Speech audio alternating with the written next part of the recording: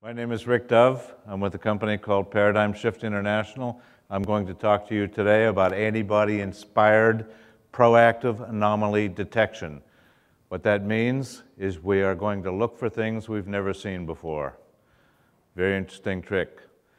The, the body does this in the immune system. Biological infections come in an extremely large number of varieties. Most of them come without ever having been detected before, at least the ones that cause us problems. Identification is what's required. We need to find a way to identify an invader before we can call in the army and vanquish the enemy. Antibodies are what actually do this identification process. And we're going to look at how the immune system does this so that we can perhaps learn something that can be applied elsewhere. What's interesting is there are so many different types of invaders that could come into the body, there is no way that the immune system can provide a detector for every possible one at all times. So it's got to figure out how to deal with this issue of we can't field all the detectors we have to. What's a body going to do? In this case, we have four stage processes. First of all, we're going to generate, well, well, the immune system is going to generate a bunch of random detectors then it's going to make sure that these detectors that have been generated don't actually want to detect something you'd like to keep, like your liver. And so we have to do a filtration process. We'll talk about how that happens. Then we stick them, if they pass that test, into a very short life trial period in bloodstream, actually about two days. If they don't find anything in two days, we kill them off, or the immune system kills them off. Uh, if they do find something, we go through a very interesting process of making sure we have a perfect match that I'll show you shortly. So the first stage is detector generation. Happens on a continuous basis, and it happens with a, with a two-element concept here. The first element is one that uses three libraries, VD and J, each with a very small number of fixed DNA segments in them. The second element grabs one from each library, glues them together with some random nucleotides in between. We can get 10 to the 9 different kinds of combinations by doing this randomly. Now, before we send them into the bloodstream where they might attack your liver, we put them into what I'll call a containment vessel in bone marrow and thalamus, and we flush them with, with bodily fluids. Anything that reacts to those bodily fluids immediately dies. Anything that doesn't react after some period of time is considered safe and sent into the bloodstream. So we have a filtration mechanism that you can see here. Uh, as I've shown uh, in this case, we're looking at bone marrow, but the same process happens in thalamus.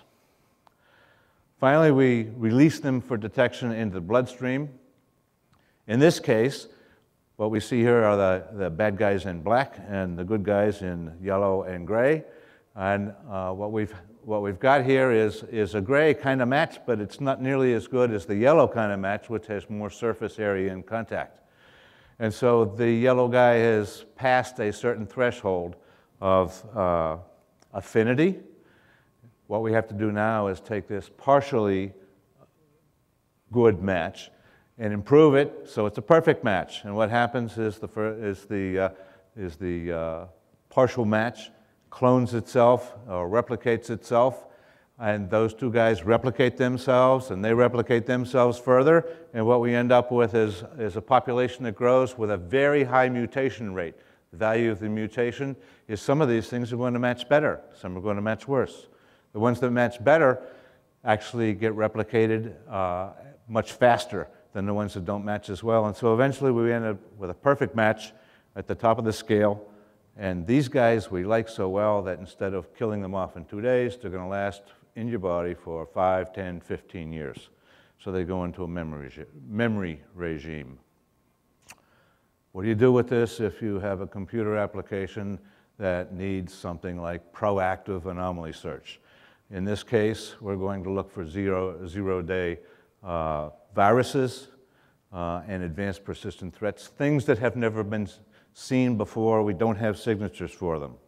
We use a very similar four-stage process, a generator of random detectors, a nursery uh, that makes sure that we don't detect stuff that is of no interest to us.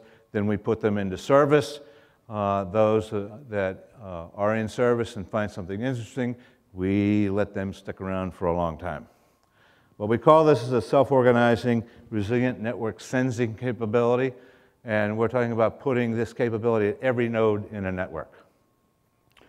Here's the uh, larger block diagram of how all this works in a hierarchical, uh, cortical-like pattern recognition system. I'm not going to talk about this in any detail. It would take a lot more than the five minutes we have here. Come see me at the poster session. What's interesting to note is that with 256 of our gang detectors, we can cover almost 100% of all possible invasions that can happen. Thank you.